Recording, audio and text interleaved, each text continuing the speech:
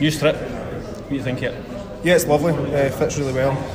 A few more air vents as well. So uh, as I get older, I sweat a little bit more. But no, it's it's looking good. It's great fit as well. Have you counted the amount of strips you played in for Celtic over the years? Uh, no, it's, it's getting quite a lot, but I'm still enjoying my football. I'm still enjoying being part of the lads, and it's a great event as well. Especially being invited to come along to the strip launch as well.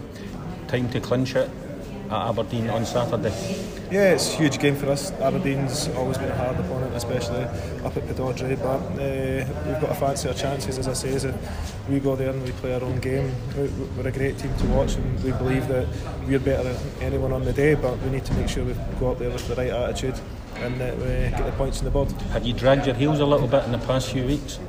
We got a good result at the weekend there. Uh, there was, it was a hard game against Livingston when we drew 0 0 at home, but uh, they've done really well this season since coming up. The, the defence has been uh, on top for them all season, so uh, it was a hard game for us. We created a few chances, but we just couldn't quite get the ball in the back of the net. But uh, we've been in a great position this season. We're on more points this season than we were uh, last season at this stage, so uh, we're in a as I say, we're in a great place. You had that citation uh, for not acting in the best interests of Association Football. Would you fear that you might miss this game?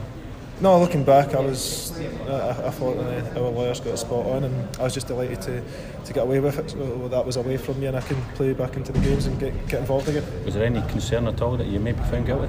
No, not on my behalf. Was it quite a surprise when that came through? Yeah, I think at the time, but yeah, it's part and parcel. They've got to take something up when that happens. But uh, I think for me, the main thing is that I managed to play against Kilmarnock, and that, that was me. And I don't want to talk about that too much. And that, has in the past, and I don't want to go there. Just a relief now before big games left that you're fit and available and ready to go. Yeah, we, we just want as many people in the squad fit and ready as possible. It's a huge end to the season, and we've got a Scottish Cup game to look forward to as well. And uh, it's exciting times for Celtic Football Club. Is there any sort of hint of nerves or anything like that when you get to this point? You, you just need one point to, to clinch the title. Uh, you always get that little bit nervous, but at the end of the day, we've been there, we've done it before, and we, we know where we're coming from and we know how to do it. So. Uh, yeah, how loud's he? Some speculation today, uh, Scott, that Scott Sinclair has extended his contract by, by a year. Uh, if that's the case, I mean, how important would that be for the club? How much of a boost would that be? yeah, that would be great for the club. Scott has been fantastic player a year a couple of years ago, and his form this season has been good as well. He scores goals for us at the right times, and we need people that are scoring goals for us. And he's a great lad about the dressing room as well, and you can't ask for a better pro either. He does score a lot of goals, doesn't he, for a guy who's not an centre forward? Yeah, he's always in the box, and that's what he enjoys doing. He comes in late and he's had a couple of headers. He's comes in the back post and he makes a couple of goals as well. But it's not about that. It's about all his whole round game, and it's improved. I think since he's probably came up here and he's enjoyed football up here, and we've enjoyed having him here as well. Considering, right. sorry, considering that obviously Aberdeen have pushed you so much in the last couple of years, would it quite fitting to clinch eight against them this Saturday? Would that be a nice feeling? Um, Aberdeen have been fantastic over the last three, four years.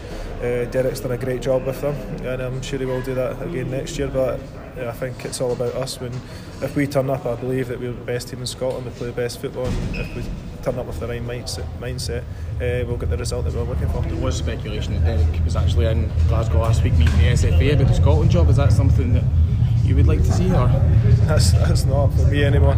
Uh, those days have passed me. But uh, as I say, he's been a fantastic manager for Aberdeen, and uh, it'd be great for Scottish football if he managed to get that job too.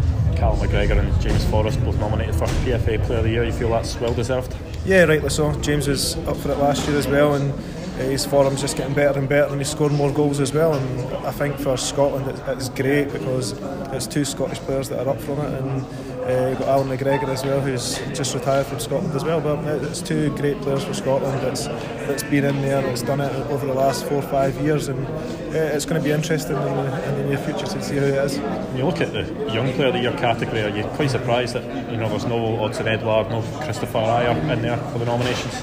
Yeah, I think people maybe just look at them and think they're a little bit older than what they are because how experienced they are and how well they've played over the seasons. But the two of them have been fantastic for us, and Odsonne's scored some amount of goals, and he's a player that you love to, to hate, to be perfectly honest, because you love him in your team and you'd hate him to play, be against you. But uh, Chris has just got better and better as as the games have went on, and he's looking more composed. And he came to Celtic as a number ten. Now he's playing centre half, and it looks like that's been his position all his life. Some more sad news this week with the passing of Stevie Chalmers. Yeah, it's it's Billy just last week there, and then Stevie this week, and it's sad for the club. But what they've done for the club and Scottish football has been exceptional, and they they'll get an unbelievable. Uh, what's the word that I'm looking for? Send off. Sound off. That's the one. Uh, at Celtic Park when uh, Billy's is on Friday and then Stevie's is on Wednesday. So it, it's sad because the two of them are very close at the same time as well. And we'd have liked to have maybe just clinched the title just before, so the two of them could maybe been there for it. Be a good tribute to them anyway, wouldn't it, if you managed to do it on Saturday? Yeah, that's the thing. I, I think we need to make sure we focus and do it for them because, uh, as I say, it's what they've done for the club and how much heroes they are for the club and what they've done over the years. And to sit and to speak to them and uh, the, the love that they've got for Glasgow Celtic is unbelievable. Cheers. Andrew, cheers, Scott. Thank you.